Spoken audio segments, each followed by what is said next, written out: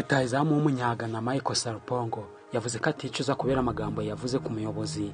Yatumye yirukanwa na Rayon Sport anavuga ko umwenda w'ibihumbi magana atandatu imwishyuza yakawiyishyuye muri miliyoni hafi zigera muri zirindwi z'amanyarwanda imugomba Michael Sarpongo yirukanwe na Rayon Sport nyuma y'uko iyi kipe isheshe amasezerano bari bafitanye kubera amagambo yabwiye itangazamakuru ko umuyobozi wayo Munyakazi Sadate nta bushobozi afite bwo kuyiyobora.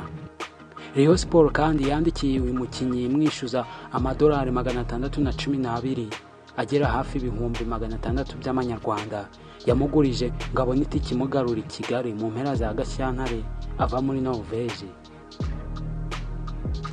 Mu kiganiro cyihariye yagiranye n'igihe com ku mugoroba wo kuri uyu wa kane tariki ya makumyabiri na gatatu mata bibiri na makumyabiri.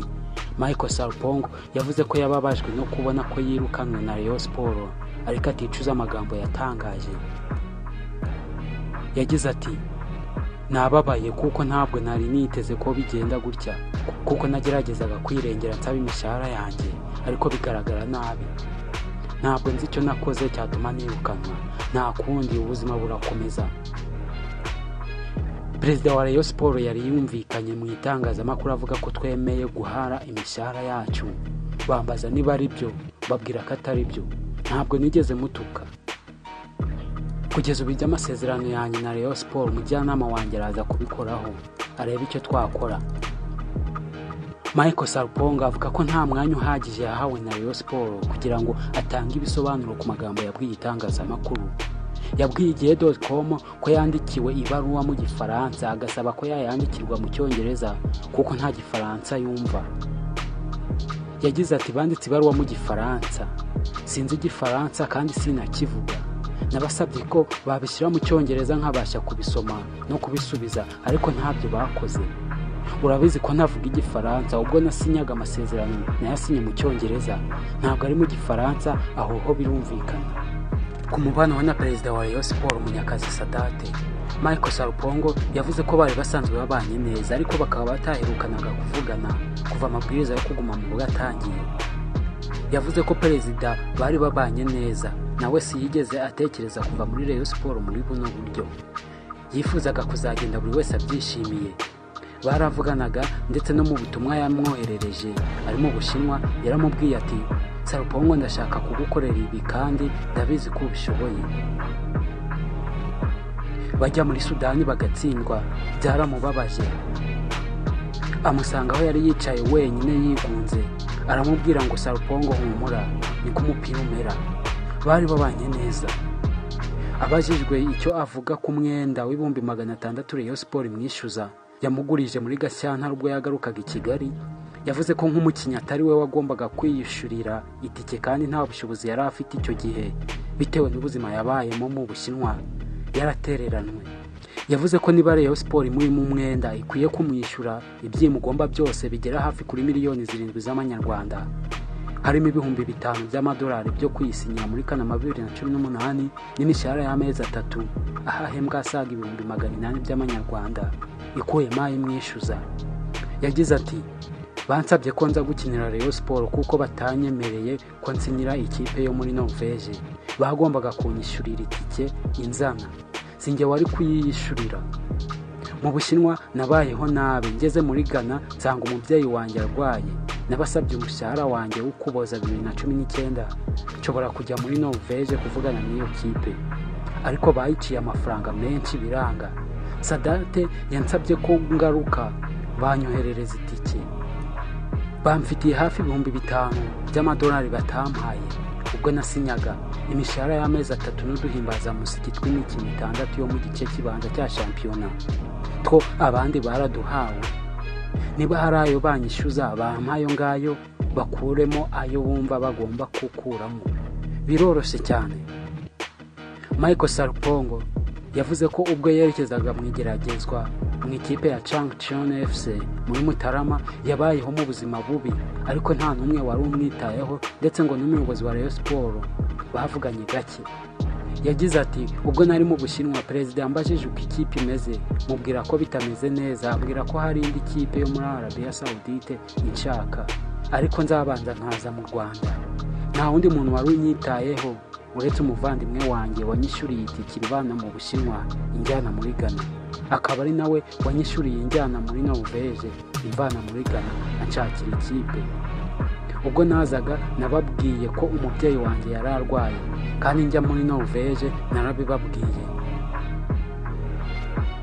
Sarupongo yatangaje ko ashobora gukomeza gukina mu rwanda mu gihe yabona ikipe imuha ibyo yifuza kuko hafata nk'iwabo ha kabiri. Mu gihe kandi yemeje ko hari amakipe menshi amwifuza arimo na yanga yo muri tanzania.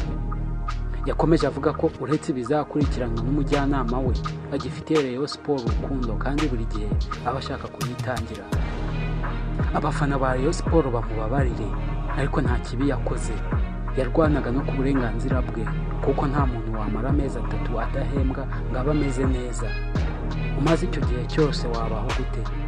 Ntawitaye ku buryo ari kubaho ariko arabasha kubaho. Afite manager we umwitaho. Match generation bamuhamagaye bamubwira ko bazamuha amafaranga ku wa kabiri ariko ntabwo bigeze bayamuha. Michael Sarpongo yavuze ko yishimira ibihe yagiriye mu Rwanda kuva hageze muri Kanama bibiri na cumi n'umunani aho yanatwaranye igikombe cya shampiyona na Rayon Sport mu mwaka ushize w'imikino. Aha ariko Rayon Sport yirukanye Sarpongo binyuranyije n'amategeko ndetse ko ishobora no kuzisanga mu manza.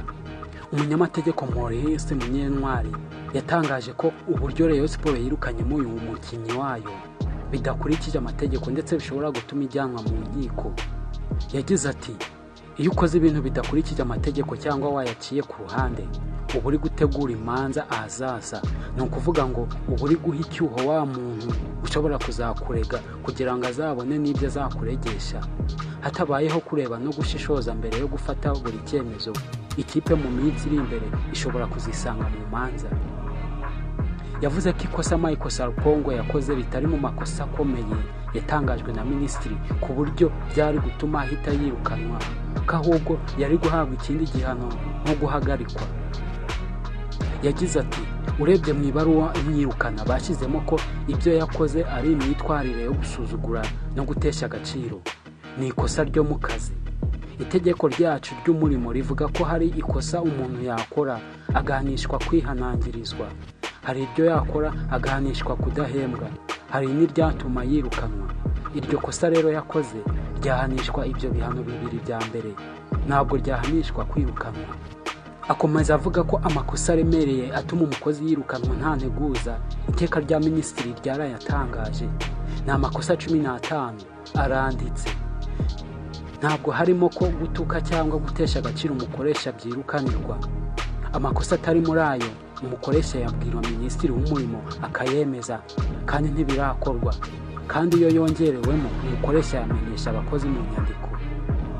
Metre munyentwari asanga kandi Rayon Sport yarakoze ikosa ryo kwirukana Michael Sarpongo mu gihe amasezerano ye yari yaramaze gusubikwa. Aho we yemeza ko yagombaga gutegereza igihe azasubukurirwa akaba ari bwo ishobora guhana uyu mukinnyi. Yavuze kandi ko kuba Michael Sarpongo yarirukanwe nyuma y'amasaha mirongo ine n'umunani akoze ikosa na byo binyuranyije n'amategeko. Yagize ati ni byiza gufata ibyemezo bidashingiye ku marangamutima. Ugomba gutekereza ku bizakurikira. Itegeko rivuga ko iyo umukozi yakoze ikosa rimwirukanisha umukoresha akarimenya. Umukoresha agomba kumenyesha ko amwirukanye. Mu masaha mirongo ine n'umunani uhereye igihe yamenyesheje rya kosa. Ikosa sarupongo wamurega yarikoze ku wa mbere tariki ya makumyabiri mata. No mu ibaruwa bamusabiyemo ibisobanuro byanditsemo. Ubwo bivuze neza ko Rayon Sport yamenye ko Sarupongo yakoze ikosa tariki ya makumyabiri mata. Ariko mu ibaruwa imwirukana bayimuhaye ku itariki ya makumyabiri n'eshatu mata. Ejo hashize amasaha mirongo ine n'umunani yararenze. Iyo wishe uburyo bwo kwirukanamo umukozi mu rukiko hari igihe bavuga ko wamwirukanye mu buryo bunyuranyije n'amategeko akaba yabyakira indishyi mu rukiko. Metre munyentwari akomeza avuga ko ikindi cya gatatu ni ibaruwa Rayon Sport yandikiye abakinnyi bayo ihagarika imishahara. Iyo ugiye mu mategeko ni ugusubika amasezerano kuko rivuga ko ibyo biba mu gihe umukozi n'umukoresha basubitse zimwe mu nshingano z'amasezerano yabo. Iyo amasezerano asubitse aba ameze nk'asinziriye kuvuga ngo wasezereye umuntu kandi bimeze gutyo. Harimo akabazo bagombaga gutekereza iki cyorezo cya covid-19 kikaba cyarangira bakamuhana. Munyentwari maurice yasabye amakipe yo mu rwanda by'umwihariko rayon siporo asanzwe abereye umukunzi. Ko akwiye gushaka abanyamategeko babikora nk'akazi kuruta gushaka abakoranabushake batorwa kuko byabafasha mu buzima bwayo bwa buri munsi. Reka tubabwire amakosa yirukanirwa mu kazi. Harimo ubujura uburiganya kurwanira ku kazi kunywera ibinyobwa bisindisha mu kazi kuba uri ku kazi kandi wasinze cyangwa wanyoye ibiyobyabwenge gukora inyandiko mpimbano ivangura iryo ari ryo ryose ku kazi. Guhoza undi ku nkeke bifitanye isano n'imibonano mpuzabitsina gusaba gutanga cyangwa kwakira ruswa cyangwa indonke kunyereza umutungo kubona cyangwa gutanga mu buryo butemewe amakuru y'akazi y'ibanga. Imyitwarire ishobora gushyira mu kaga ubuzima n'umutekano by'abandi ku kazi ndetse n'ihohotera rishingiye ku gitsina mu kazi. Ayo niyo makosa ya mbere yirukanirwa ku kazi. Nyuma y'uko uyu mukinnyi sarupongo amaze kwirukanwa n'ikipe ya rayon siporo kenisi yavuze ko yiteguye guha sarupongo ibishoboka byose ariko akaza mu ikipe ya gasogi. Perezida w'ikipe ya gasogi united akaba na nyirayo bwana kakuza nkuriza charles uzwi nka kenisi muri iki gitondo atangaje ko yiteguye kuvugana na sarupongo akaba yakwerekeza muri iyi kipe ndetse agakomeza agira inama umunyamategeko we ngo ashake urupapuro rumuha uburenganzira bwo kujya mu yindi kipe ruzwi nka release letter. Ibi abitangaje nyuma y'uko ikipe ya rayon siporo yirukanye sarupongo imuhora kuvuga amagambo atari meza aharabika perezida wayo bwana sadate munyakazi. Ubwo yari ari mu kiganiro kuri radiyo kenisi yagize ati twiteguye kuzana sarupongo ahasigaye tukamugira umukinnyi wa mbere mu rwanda ubayeho neza kurusha abandi. Tukamuha buri kimwe cyose harimo imodoka ihenze y'ijipe ya zero kilometa inzu nziza abazajya bamwitaho muri buri kimwe harimo abamutekera n'ibindi byinshi bitandukanye. Abakozi barinda igipangu ndetse na firigo ye ikajya ihoramo ibikonje bisimburana bitewe n'icyo yanditse muri ajenda yifuza. Si ibyo gusa kandi kenisi yakomeje avuga ko niba yifuza umunezero ikipe yambara umukara na oranje yiteguye kuwumuha. Niba nifuza agatura mu rwanda byaba ngombwa akarongora umunyarwandakazi. Kuko ngo n'abafana ba gasogi bazwi nk'urubambyi ngwe biteguye kumwakira. Iyi yo ni the voice tv njye ni niyo d'amour. Tubibutsa gukora subscribe niba utari wakora subscribe ubundi ukajya ugezwaho amakuru agiye atandukanye. Mu ba mbere komeza kugira ibihe byiza.